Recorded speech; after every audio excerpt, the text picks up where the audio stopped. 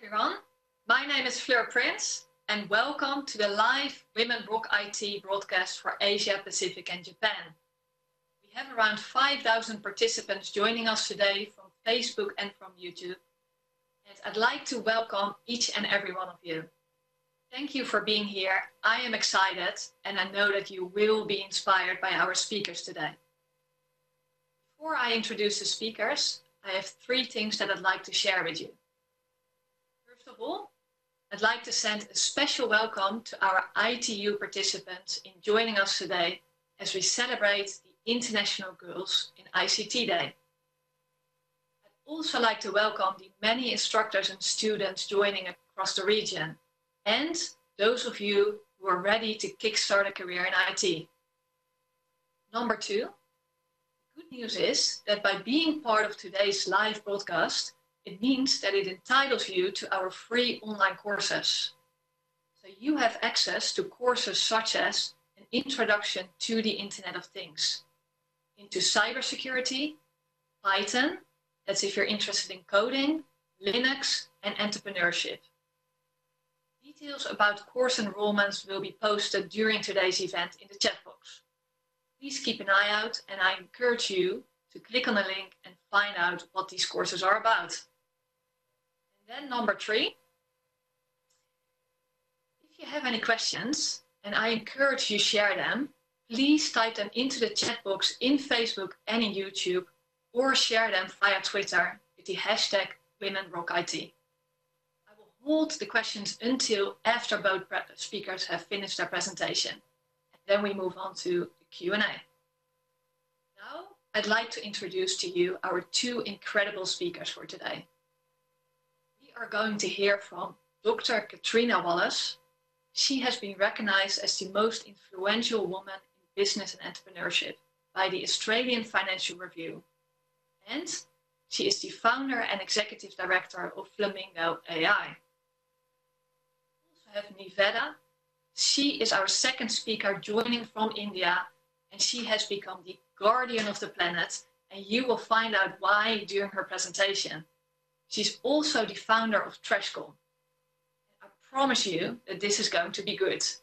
These incredible women will share their dreams, their journey, and how they are changing the world for the better by using Trashbots and artificial intelligence.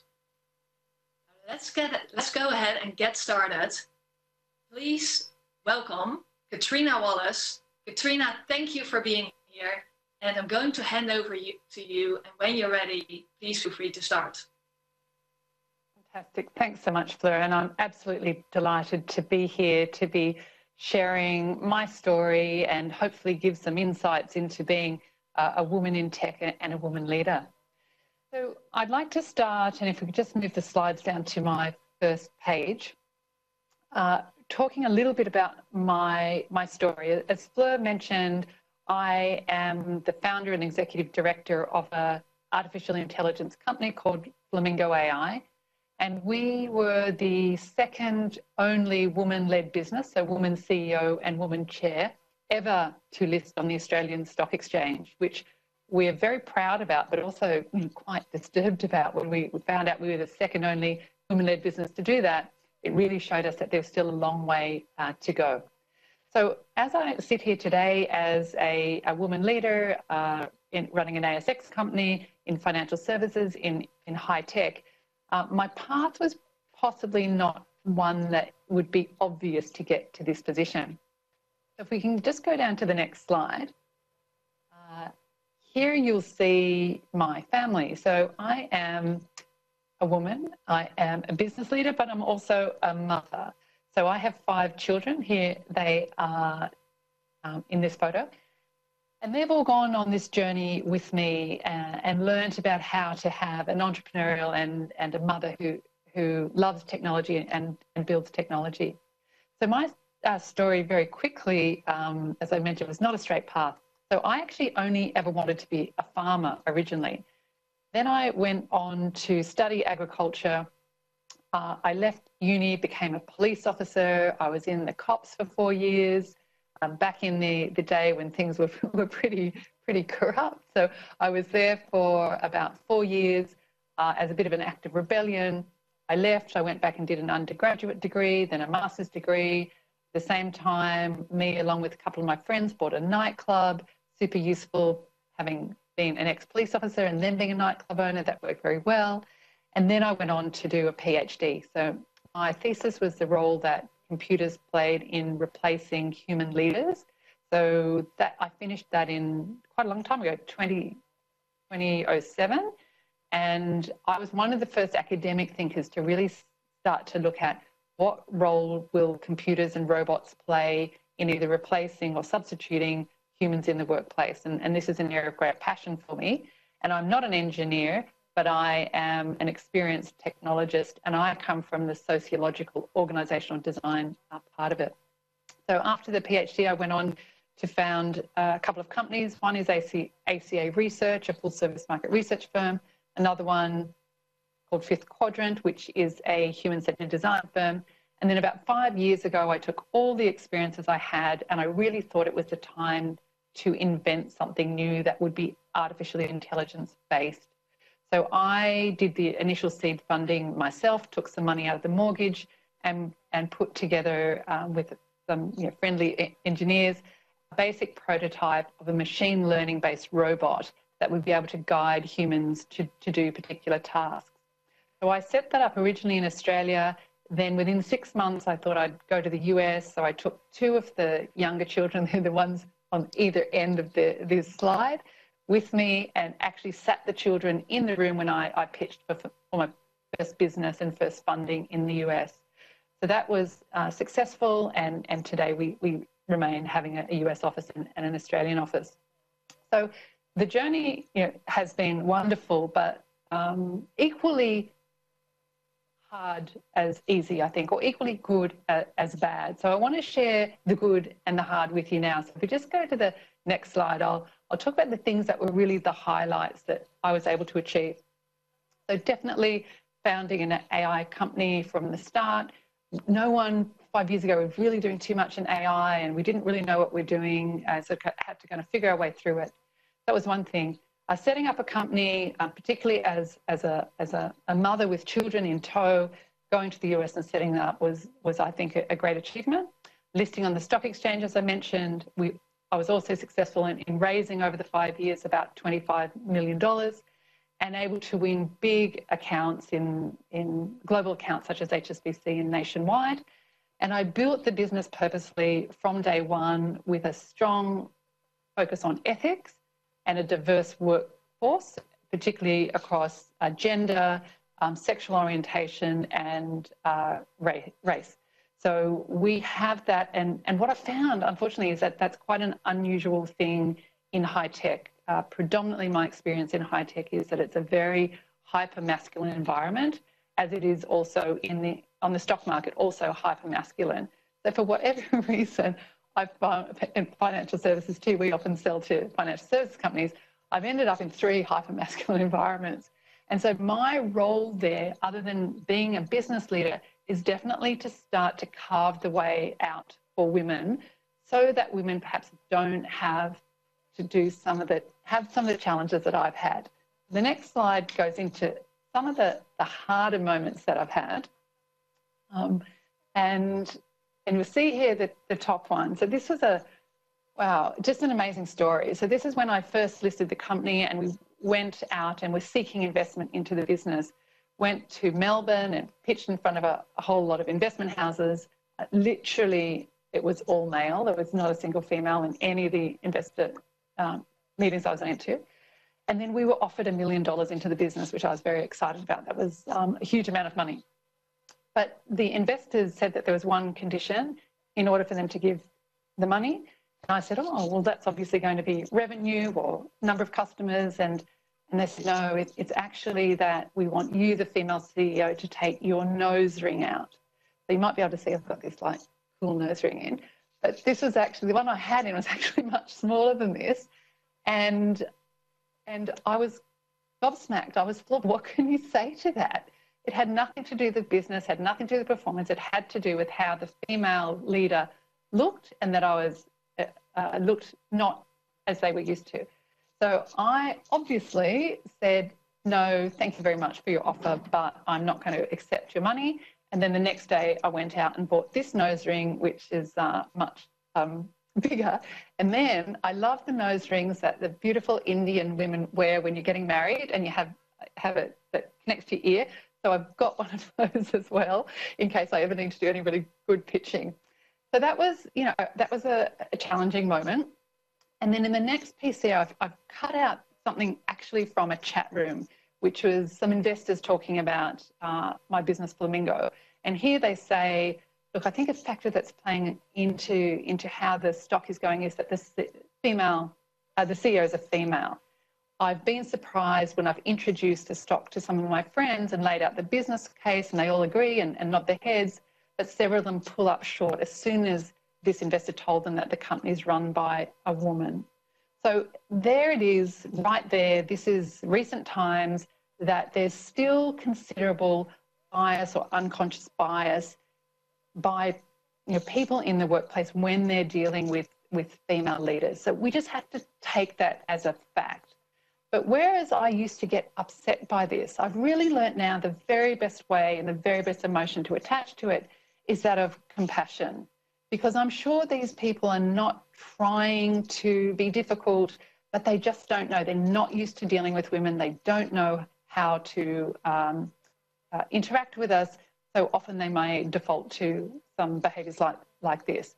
So my role now is very much to uh, uh, support women and help create paths for women, but also to support the men as they learn to deal with women in the workplace. In my sector, artificial intelligence, only one in 10 engineers is a woman, but hopefully through the work that some of us in, in leadership are doing, we'll see that increase. So my feeling, strong feeling is about uh, helping men understand how to interact and do business with us as women. Okay, on to the next slide. One of the things I've just talked about is this notion of bias, and that is bias against or towards women in the workplace, and that's just our physical selves. But the other thing I've learned being in the field of AI is that there is huge amount of bias also in the technology, in the algorithms, in the data that is running our world. So what I'd love each of you to do, please, is just get out your, your phones and Google one of these four uh, topics. So best CEOs in the world, most intelligent people in the world, unprofessional hairstyles or professor style. Now remember, I'm actually a professor. I'm an adjunct professor at the Australian Graduate School of Management. Just hold that image of me in your mind as you Google what the internet thinks professors should look like. So if you Google one of those, hit images, you will see a world unfold that is highly biased. So I'll just run through um, whilst you're doing that. When you Google best CEOs in the world, it is predominantly white, silver haired um, males. Most intelligent people in the world is literally the same. Unprofessional hairstyles, Google will present predominantly women of colour with afro hairstyles. And when you Google professor style, it'll come up with uh, quite good looking white men with dark hair and tweed suits. I think there is a couple of Harrison Ford shots out of um, uh, his movies, but there's certainly no professors that look like me presented by Google.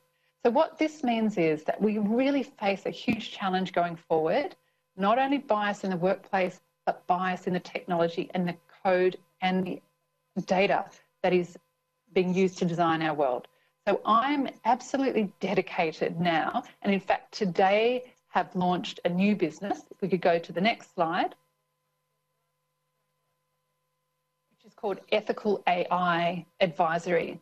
And so I was so concerned about the level of bias that potentially can be built into artificial intelligence that I've now set up this business which acts as an advisory service to organisations in order to be able to design, code and deploy AI ethically so we're not faced with huge challenges um, with regard to dis discrimination and unfair treatment of women or minority groups.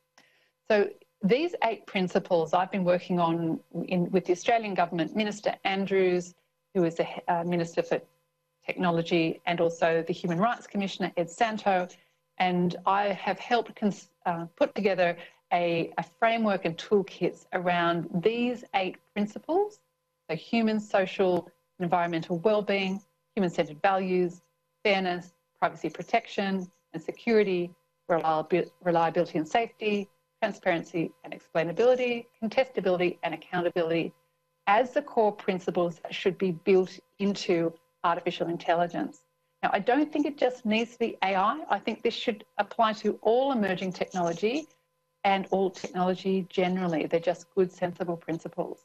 So my uh, commitment now, in addition to running um, Flamingo, is uh, where I get good hands-on experience as a practitioner, is to now be an advisor and a consultant to help make sure that we do this technology and we do it well. And then finally, on the last slide, what I'd like to do is just call out a couple of things and why um, sessions like this are so important. We are if we look to government, we see government is about five years behind the technology industry of where we're at in building this new tech. And then if we look to business leaders like the tech giants, we don't see a lot of leadership or certainly not collaborative leadership in this regard. So I think it will come to us as leaders ourselves to start to be the ones that really go forward and create this ethical world of technology. And so I would love to invite all of you going forward to remain being very tech savvy, investigate all new technology, learn about artificial intelligence, be very purposeful, know that you can actually bring your own values and what's meaningful to you forward. And we'll, we'll hear Niveda, who's, who's built a business like um, based on her purpose and, and what's meaningful to her in a minute but you can also do that even if you're an employee. Make sure that you're always augmented by tech, trial, take risks, experiment with technology, perhaps technology that you're not even currently using at work, but newer technologies like artificial intelligence. Learn all, all that you can. I've put two good books down here The Most Human Human, What AI Teaches Us About Being Alive, and Human Plus Machine. And I'd add a third one, which is called Invisible Women by um, uh, Carolina Criado Perez, fabulous book. And then know that you actually can be leaders in this field. The technology is so new, and also the ethics and purposeful technology is so new. Regardless of how old you are where you're up, in, up to in your career, you can absolutely be a leader. Thanks very much, Fleur. Thank you, Catriona, for sharing your story from the challenges to how you overcame them and now to how you're helping other businesses, it truly is inspiring. Thank you. And now we're going over to Niveda. Niveda, thank you very much for being here. I'm looking forward to hear your story and I'm going to hand over to you. Thank you so much, Fleur. And uh, Catriona, it was absolutely inspiring. Good morning, everyone. Uh, this is Niveda. I'm the CEO and founder of TrashCon well, uh, before I begin uh, this entire talk, let me just put across a disclaimer. This is not going to be about inspiring you, motivating you, or giving you some information. All I'm going to do is share with you my very, very humble journey. And before I begin, let me ask you a question. Can we go to the next slide, please? So, um, many of you, uh, you know, have have this particular dream, an idea, or maybe even a thought that you know you could you could fix something around you that is bothering you? It it could be about you, it could be about your family, it could be about absolutely anything. But you know, some thought, some idea, or even a dream that you feel maybe with your abilities and skills, you could possibly create a change. If you have a dream, please do type in yes. I know it is through YouTube and Facebook as well, but whoever is accessing through WebEx, it'll be great. Well, uh, I too had a dream three years ago. And uh, I used to see, you know, the, the slide that you're seeing here is uh, the kind of uh, scenario that I used to see every time I get out of my house. And this is very, very uh, normal in almost all the developing countries. This is a usual sight. But apart from it being a very bad sight and having the worst trench that you can possibly imagine, it also takes lives. It causes 22 different types of diseases. It is burnt, you know, overnight, and it causes all sorts of respiratory diseases, right? And it was taking a toll on those I love and those I know. And that's when I realized that, you know, instead of cribbing about it and blaming the government for it, which I was integrally doing it along with all the people around me, I thought, why can't I do something about it? Can we go to the next slide, please? You see, this is where the waste ends up. So yeah, it is cleared from outside my house and it gets dumped in a place like this. You see, you see, there are people out there, there are people and animals there. Well, their average lifespan is hardly 40 years. So this is the kind of they're not even living a life of a human. It is it is way less than a human. And this is rampant. 95% of the waste in India alone is being dumped like this. And this is not just about India, it's about every developing country. And well, developed countries have a lot of land left, so yeah, they can afford dumping it.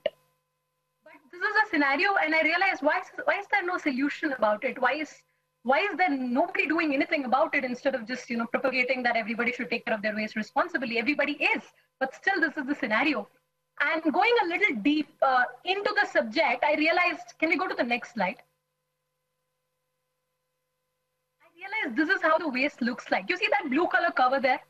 That blue color plastic bag has sanitary napkins, it has diapers, it has plastic bags, it has it has food, it has metal, it has stone, it has glass, it has absolutely everything that is in your mind right now. It has even dead animals. Well, what can anybody do with this waste other than burning it or dumping it, right? And that is what is happening. Now, that's when I realized that, you know, there should be something there should be as an engineer it just came to me that why can't technology try and solve this? Why can't something be there that can possibly solve it? So so you know i i, I started brainstorming and i thought why not come up with a system that can take all of this trash and sort it automatically into plastic waste kitchen waste metal waste? It was simple. Because the moment i sort it the kitchen waste and the food waste can be converted to biofuel the plastic waste or all kinds of non-biodegradable items can be recycled and the metals can again be stored. Very simple idea. And I thought it could be done.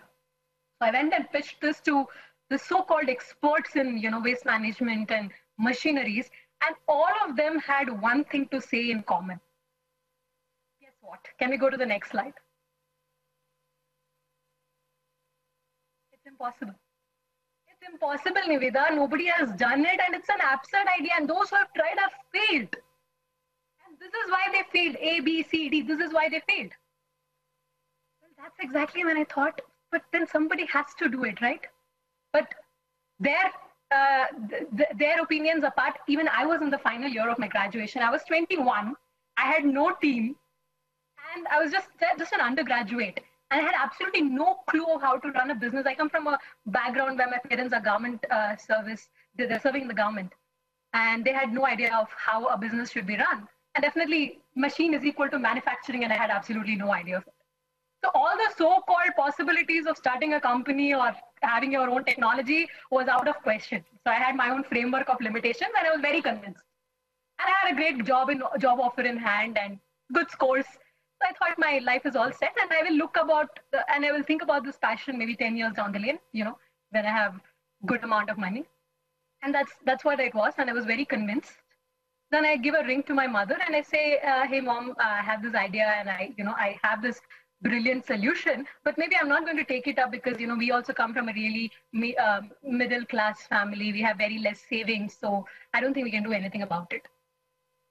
And to that, my mom says. Uh, but if not you, who? I mean, come on, somebody has to try and do it. And I say, are you kidding me? You don't even, you don't have the resources to do it. And she says, look, I have $2,000, just $2,000 in her savings. And she says, I'll give it to you and you try it out. And I say, look, it's going to fail. So uh, what are you even talking about? And she says, look, try some, try somewhere and it's okay. It's okay if you fail, but at least try until all the possibilities are exhausted. There was this angel who was supporting me and there was this entire world who was telling me I was absurd. But somehow somehow I went with this this particular passion of you know trying and solving something about it. But well, I was about to regret. Can we go to the next slide? Six months. six to seven months, this was my office. You see that? That's a dump site. This is a dump site, which you will see in most of the municipality wards in developing countries. And in this particular area, there are only drunk and unskilled men. I was here with my small prototype and you know taking waste, and they were they used to look at me, crazy lady. They used to stare at me, and then they gave up. I used to go there every day, try out different different uh, you know apparatus, different combinations to see what may possibly work. And to top it all, there was no AC chair or anything, but there was not even a washroom to basically, you know, the basic sanitation facility was also not there. But that's where I was going. I wasn't telling my mom and dad that, you know, I was going to the dump site as my office. But that's how the six months went. Let me go to the next slide to show you what happened after that. So during these six to seven months, I came up with this small machine which could do only one kg per hour. One kg is just a waste that a house generates, you know. And uh, literally the waste was going in different direction. The plastic was coming in kitchen waste and kitchen waste was coming in plastic. It was pathetic. But I went ahead and made the next machine. Can we go to the next photo, please? The next machine. This could take 50 kg per hour. Again, the efficiency of segregation is pathetic, around 50 to 60% probably. But then somehow I learned a lot of things from here and I went ahead and made a bigger machine. And this I was about to place it in a proper dump site. This could take 200 kgs an hour and when I made this, I was very, very convinced that, you know, I had come to 75 to 80% efficiency. And that was also a huge uh, milestone. And I was very convinced that maybe this, this is it. I could possibly do it. And by this time, I had exhausted all the resources I got from my mother, from a couple of government grants. I had to prove it and, you know, start either selling it or get more funds. So when you remember all those people who told me it's not possible, well, I called them and I said, look, this is a machine. I made it happen. And all of those uh, people came in. They did come and I switched on the machine. But well, there was a small boulder that went in. And it went in because the operator was unskilled and did not actually know what has to be done. But when it went in, the entire machine broke down. It broke down and it was a pathetic failure in front of them. And when that happened, of course, they were saying, We told you so. But in my mind, I was very convinced that I have made a big fool of myself. I spent seven months doing doing all of this nonsense, but it has ended up nowhere. I couldn't do anything. And I was very convinced that the world was right and I, I was wrong. I went to my go-to mentor, uh, you know, uh, can we go to the next slide? I went to my go-to mentor and I told him that, um, you know, this is Saurabh Jain. He's a chartered accountant and he was he, he had both business uh, expert, expertise as well as the tech expertise. And so he was my go-to mentor. And I told him, look, uh, I think I did enough and I'm going to give up because it's not going anywhere and I'm shooting in the dark. And he says, uh, but why don't you, why don't you, why don't you try even a little more? You know, if not you, who? And I say, look, it's great. It's great uh, to give a lip service, but why don't you come on ground and see the reality for yourself? And he did come.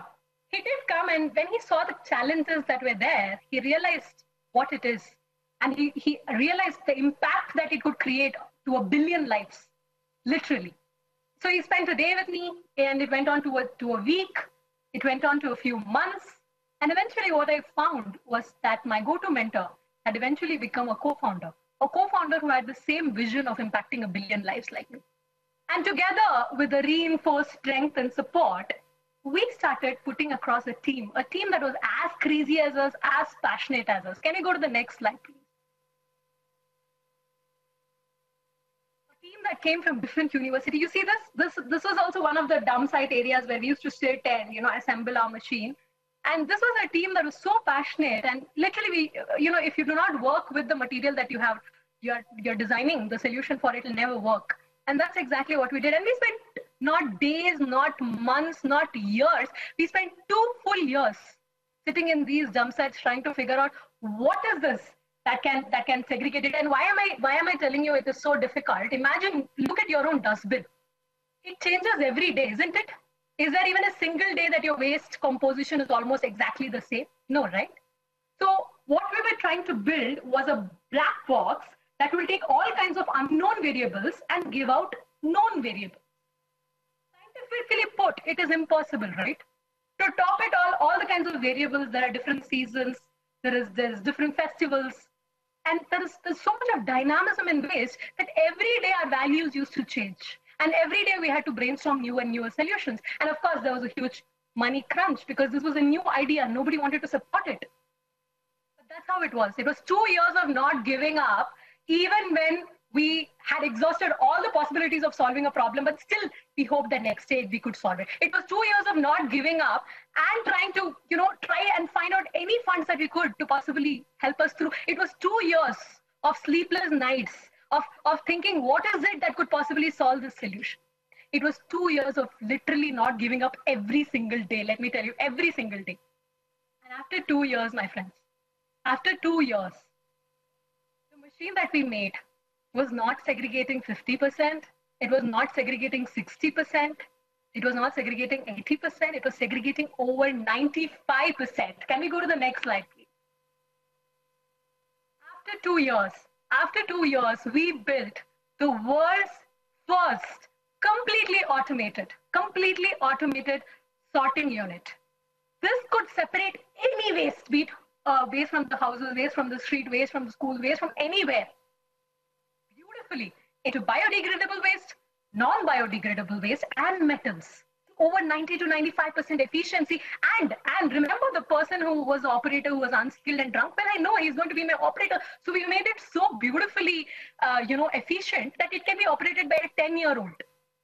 We made it so compact that it can be placed in a bedroom. We made it extremely power efficient that it can run with a apartment's electricity. And of course, this is one of its kind. We have it's, it's patented. Well, that's that's exactly what happened. Can we go to the next slide to see the transformation? This is this is what happened. These are real images. You see the one to the left, that is the photo that I showed you in the beginning. And that got segregated into biodegradable and non-biodegradable. These are real images. This is the efficiency with which it is segregated. Well, this biodegradable that you're seeing here, it is all your kitchen waste, food waste, canteen waste. It can directly become, become compost for thousands of farmers. It can become biogas that can fuel thousands of houses, or it can become any kind of biofuel that you can possibly imagine. But think about it, the audacity that we had, even before we made the first machine that can segregate waste, we already were making the machine that will recycle the output also So by the time we finished the machine that was considered impossible, can we go to the next slide? We made a machine that can segregate those plastics. You know, you saw the plastics there, which is generally in your oceans, which is there everywhere around you. Plastics, multi-layered plastics like your Pringles cover and all sorts of covers. So we convert all of them into these recycled boards. You see the shine that you're getting, it looks like marble. So we make this into boards, and you can imagine this looks something like plywood and particle board that you use to make your wooden doors and furnitures and you know the, the windows. It looks something very similar to that. And out of this, can we go to the next slide? All these products are made out of that trash that you saw lying outside my street, right? You see these Ottoman chairs, you see the table, you see the planter, you see the rack, All of this is made out of trash that was burning or getting dumped. Can we go to the next slide, please? These are some of the racks that we are selling to Pepsi. Can we go to the next slide, please? Again, made out of the waste that you saw. Can we go to the next slide, please? This is, the, this is the most beautiful thing that has happened to us with the waste that is lying on the streets and sorting it with using our equipment and recycling it, we made benches and desks, benches and desks that provide the basic infrastructure in several government schools in India. Well, these are the kids. I, I, got a, I got a letter from the teacher saying that these kids have never sat on benches and desks to write an exam. And this was the first time they were sitting in benches and desks. But let me tell you what is the best part they come from extremely underprivileged backgrounds. But today they understand what is recycling. They know the waste that goes out of my house can come back as value. That is what we could show by providing them this infrastructure. And this was the most beautiful impact. And already we, we have impacted 3,000 kids and we are going, uh, you know, almost five to six government schools every month. Can we go to the next slide? You remember all those people who said that uh, this machine is absurd, it can't be made, nobody will buy it. Well, some of the biggest corporates and some of the biggest municipalities were our customers. Even before the machine was ready, we started getting orders. That was the kind of demand it generated. Can we go to the next slide? And of course, I mean, uh, you know, we in just, you remember we started with $2,000 in just less than two years and very few months of even launching the product, we raised two and a half million dollars. We had half a million dollars in projects and half a million dollar in grants. And not just in India, almost the entire world, including Bahamas Islands, Maldives, and Thailand. We're speaking to the ministry level to install these units across because it's the same problem everywhere. Can we go to the next slide, please? And we were presenting to the prime ministers, the United Nations, to some of the some of the prime ministers and ministers of several countries. Can you go to the next slide? We were getting recommendations from some of the greatest people, some from some of, from the Prime Minister's office itself. Can we go to the next slide, please?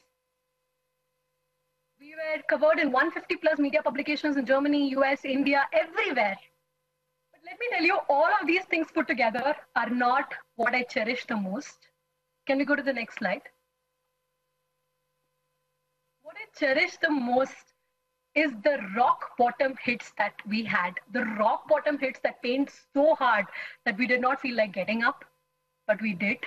And those are the most beautiful moments which I'll cherish now and, and, and forever. And what I would like to tell uh, regarding this entire journey is can we go to the next slide, please? I felt like giving up every single day for the past few years. I I'm not, I'm, I'm being very frank here. I really felt like giving up every single day. Can we go to the next slide? But well, I did not. But what happened when you do not give up and you really want to give up is that something magnificent happens, something beyond your knowledge or understanding or even your perception happens.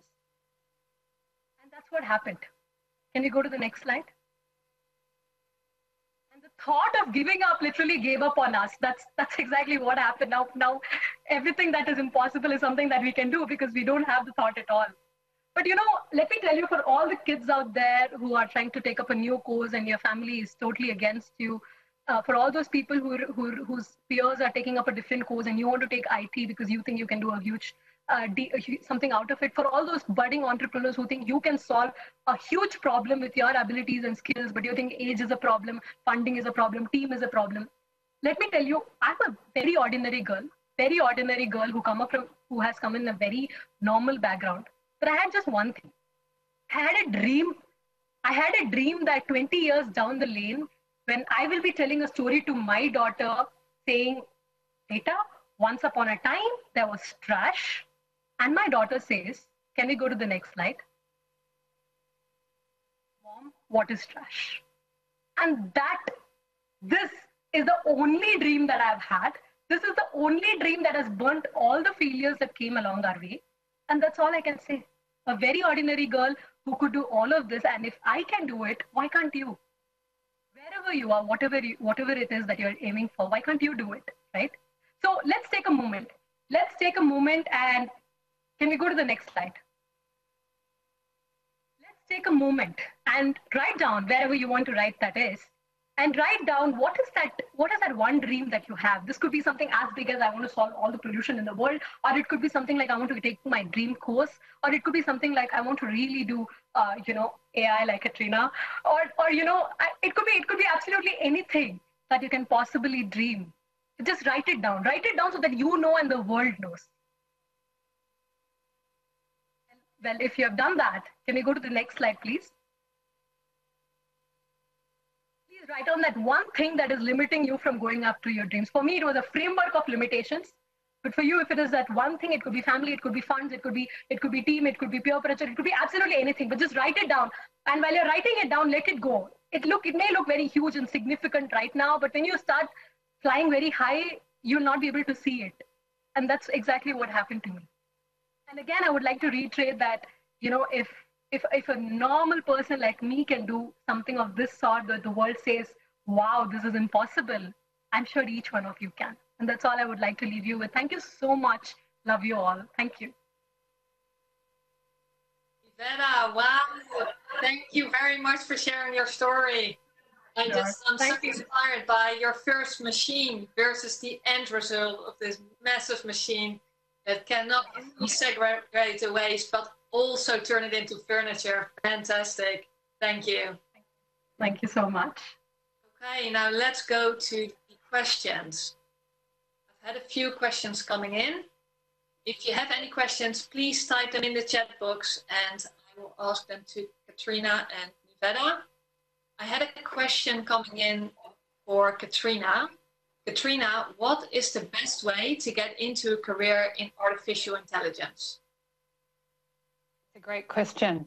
So I think there's a couple of paths to go on, and I also inspired by Niveda's um, journey that we've just um, shared. Think that uh, it doesn't have to be just getting into uh, a linear path to, to get to um, a career in AI. So I think there are ways that you can start yourselves learning and experimenting and trialing with AI so you start to learn about it in order to improve your skill set so then you can actually start to apply or pitch yourself into businesses that might be AI focused. So there's the obvious ways that you can um, go and do a university course in AI, but I actually think the better way to do it is to just be reading books, listening to podcasts, getting your hands on open sourced AI, start to play with it. And if Niveda can build a massive now global business that um, sorts trash using um, uh, sophisticated advanced technology, then I also agree that each of you can start to play and learn about technology uh, by doing it yourself and get these skills. So I say learn about it, read about it, listen, play with it, experiment, build your confidence, and then go and pitch yourself to the organization that you want to work with that is AI focused, and then even um, present to them what you might have developed um, that, that is based on artificial intelligence. And AI is so simple now and so commoditized, you actually don't need to be an engineer in order to um, be building these uh, machines. So um, that, that's what I would, that's how I would respond rather than just looking for jobs that advertise for AI, building your own career proactively uh, in that way. Thank you, Catriona. I have a lot of questions coming in, so I'm moving on to a question for Niveda. Niveda, how did you find a mentor? Well, uh, so I actually um, I was I was I was my I was a client of my uh, mentor turned co-founder, and uh, he had uh, you know like I mentioned he not only was from a technological background but he had the expertise in business and finance as well, and uh, although uh, you know I was his uh, you know mentee and I was I was getting a lot of you know advice from him. What actually happened was that particular situation that I told you that you know I called him onto the called him onto the field and showed him the challenge, I realized that during the course of time, he was somebody who wanted to create an impact that could touch a billion lives. And it's very important that, you know, a mentor or a co-founder or anybody that we associate ourselves with should have the same vision that we carry. Otherwise, the entire thing is going to fall apart. And luckily for me, I found somebody who has an exact same vision. Uh, and, and really, really, we're very greedy to touch a billion lives. And when I saw this in him, I, I asked if he could, uh, you know, join me in the company as a co-founder. And uh, it took a while uh, because, you know, he he comes from a he built his own firm, and uh, in just three years they had amazing revenues, and he had he had a plush office in the middle of the city. And to come from there to the dump site was quite a transition. Uh, but that's exactly what happened. And when I asked him today, why is it that he chose? He says, uh, when you see somebody like you working uh, stubbornly in ways and trying to solve a problem, I mean, uh, I mean, this is what pulls us all towards you. It's it's just the passion. So I think that's what I can say. I mean, the entire team and being investment, be the be it everything. It was just the single-minded passion that you know I really want to solve this problem, and that's what attracted everyone, including the mentors, the co-founders, and everyone. Yeah, that's what happened. Thank you, Niveda. I can see that passion is key here. Uh, I've got a mentor myself, and I can highly recommend anyone out there to find a mentor because it can definitely help you. Now, I've got another question coming in for Catriona. Catriona, this one is coming in from YouTube, from Fluty. How would a current AI model look like compared to the ethical and balanced AI model? Wow, that's a great question. So, if we think about what AI is, AI is essentially data plus algorithms plus some form of automation. So an unethical AI might use data that is already full of bias. Now, a great example of this was the recent Apple Card launch. So, Apple Card launched a couple of months ago. It was backed by Goldman Sachs. It was based on algorithms and an AI that determines what credit limit you are allowed to have based on you providing some financial data. But what it did, it uh, when a husband and a wife with exactly the same financial data uh, gave it to the algorithm to determine the credit limit, it was giving on average 10 times more credit to the males than or the husbands than the wives. And even Steve Wozniak, who's the co-founder of Apple, he submitted his financial details and his wife did, and in fact gave him 20 times more credit than his wife. Now, the challenge with this is obviously that the machine has discriminated against females. And the reason it's done that is it's been trained on data that is historical, has a far greater percentage, of males who have been awarded credit. So the real challenge comes in making sure data sets are clean and all biases removed out of them. Then the next challenge comes in making sure that the algorithms themselves, as they learn and as they self improve, are also doing that in a non biased way. So, another quick example is that Amazon had a, an AI that was recruiting people into the business, and what it did, it ended up skewing or referring men into jobs in Amazon because it had been trained previously on historical data, but then it learnt to pick up if on a CV there was the word woman, so or women, so someone might say, oh, I was head of the women's chess club or I went to women's college, it would the algorithm then learnt to discount that CV. And so no CVs were being put forward that mention the word women. So that's where the algorithm can start to go and then the actual automation itself is is the final determinant where a decision might be made. And so, an ethical AI model will have uh, frameworks and guidelines at each of those stages to make sure that it is fair, that it is without bias, that it does not discriminate, that it's been made safely, that it's reliable, that it has human centered values in mind. Now, my company, Flamingo AI, is one of the first companies that's working with the government principles to trial this framework at the moment. We're a couple of months away from actually coming out with a really solid case study that shows what worked and what didn't work and how you would really put this ethical AI in, in place. So please, you know, stay in touch with me through Facebook, LinkedIn, Twitter, Instagram. I'm on all of them, and, and we'll we'll share this as we go forward. But the the models will be quite different to ethical AI to non-ethical AI, quite quite different. Wow, that's an explanation, Catriona. Thank you. I'm very shocked by the fact that 20 times more credits and CVs just being eliminated when uh, they come from women. I'm glad they picked up on that and I hope they fixed it. So thank you for your answer. We are moving on to a question for Niveda. Niveda, um, question coming in from YouTube by Swaria.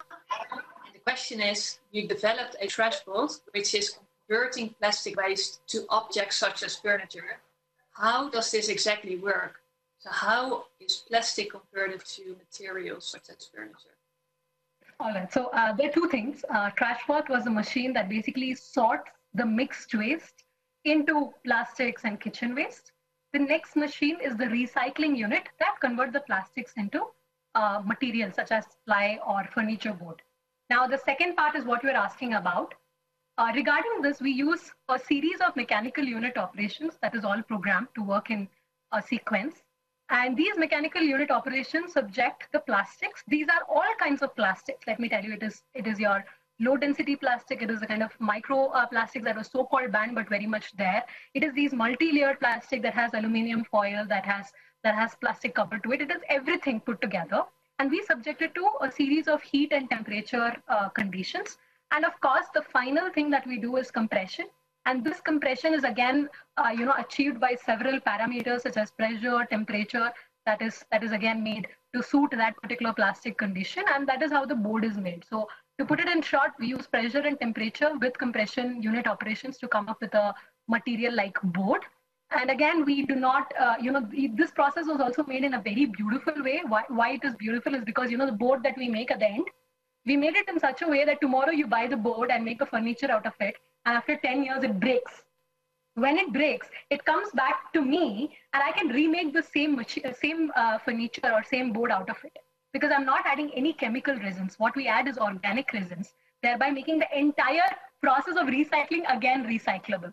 So that's the entire chain that uh, we follow in making the boards. Uh, yeah, that's that's pretty much it. I hope that answered your question. You, Niveda. Then a question coming in for Catriona from YouTube. Um, do you think women have a unique opportunity to make a difference in the world as we know it today? My answer is definitely yes to that. So I think we're at a time where a couple of things are all lining up in order for women to start playing a much stronger role in, in how technology is going to be built, how it's going to be developed, and how society is going to be, be run.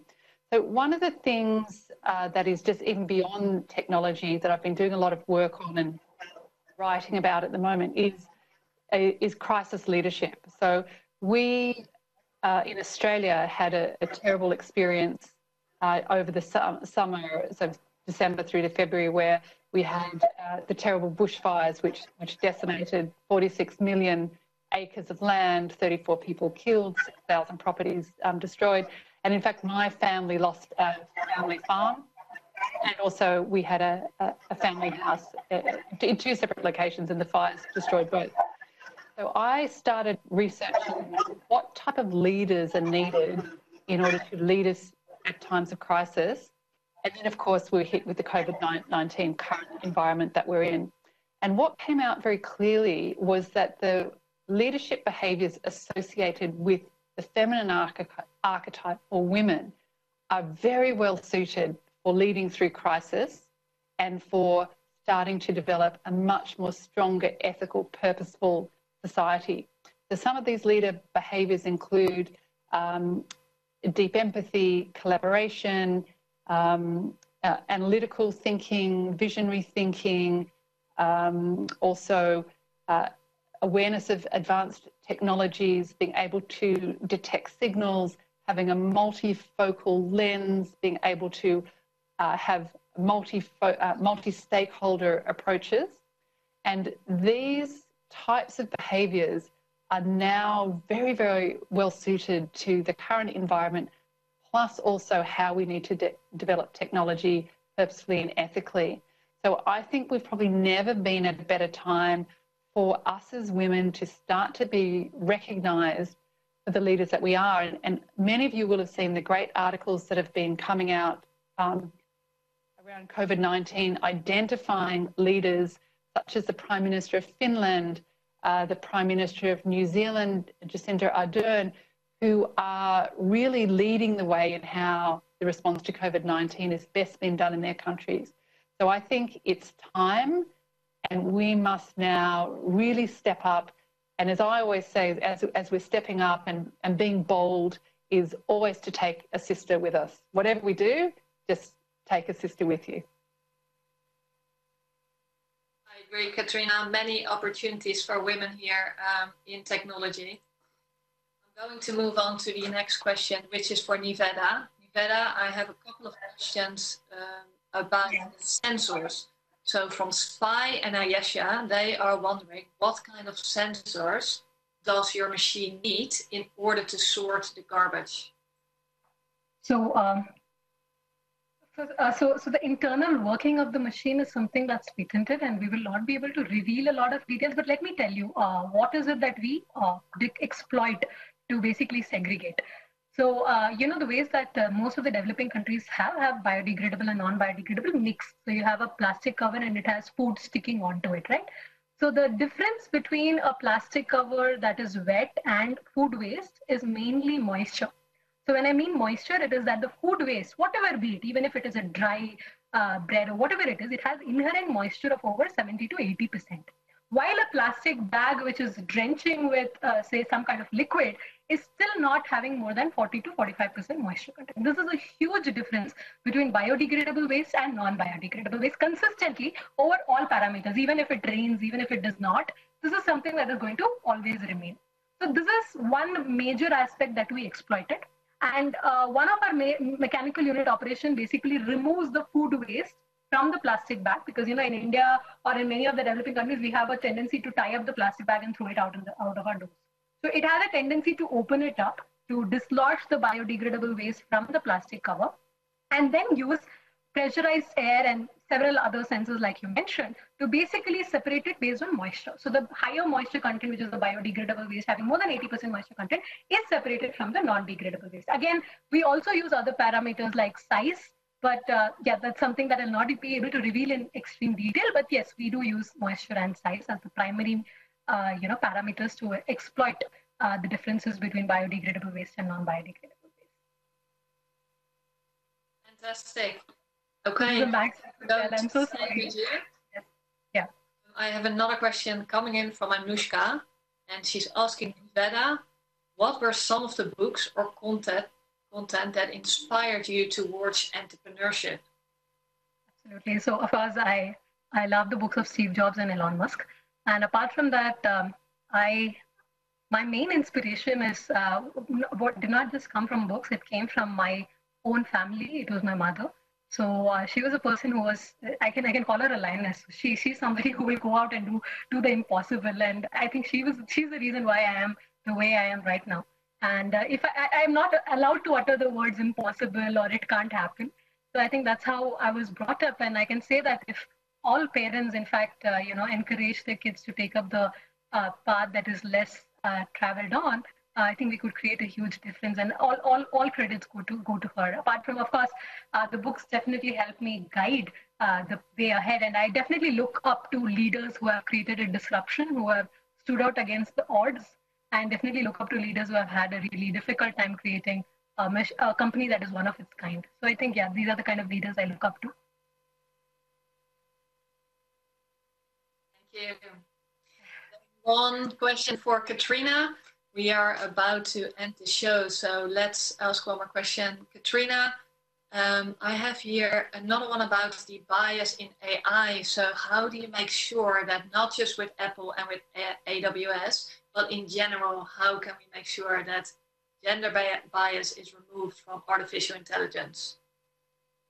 Right. Well, I think it, it starts with, again, the data sets. So if you are working in a company that is training uh, machines and algorithms, then what is super important is to make sure that there's rigor and process around looking at the data sets. And there are definitely some techniques. So, an ensemble technique is one technique that's used in order to assess that the data set is without bias. There's various other ways that, that you can do that. So, I think what we can do as women in, in business is just always to be asking the question. Ask the question of the data scientists, ask the question of the people who are the ones who are putting the data together. Ask questions of the business owners who are responsible for the outcome of the AI decision. Ask them to show you how is this AI being designed to make sure that bias is removed and that it doesn't discriminate. And just ask them to be transparent. One of the challenges will be in, in AI, we call it black box AI. So black box AI is when the, even the engineers can't really explain what's going on what we want them to be building is white box AI so that they very simply can open the machines and show you how the algorithms work, how the data is treated, and how the decisions are made. So, so I'd say definitely start with the data, but just be, uh, be the person in your business who asks these questions. Fantastic. Thank you, Catriona. And this is bringing us to the end of today's live Women Rock IT broadcast.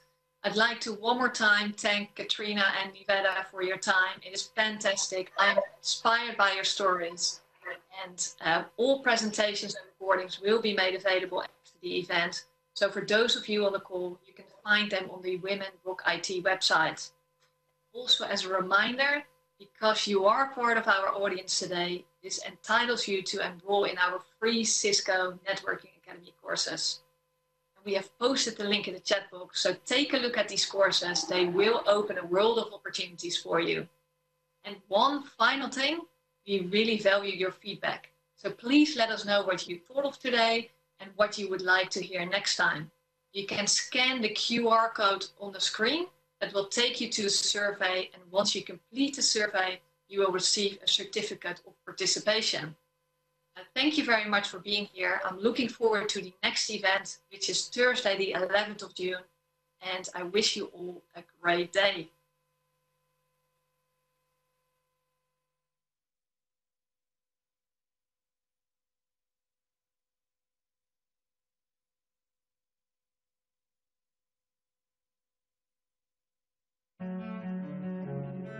Between what is hoped for and what can be, there's a bridge. Between the aspirations of a ball club and the greatest sports venue in America, there's a bridge. Between chaos and wonder, endangered and protected, there's a bridge. Built on technology that can solve, create, heal, inspire, and secure. A bridge. There from the beginning to where we stand today.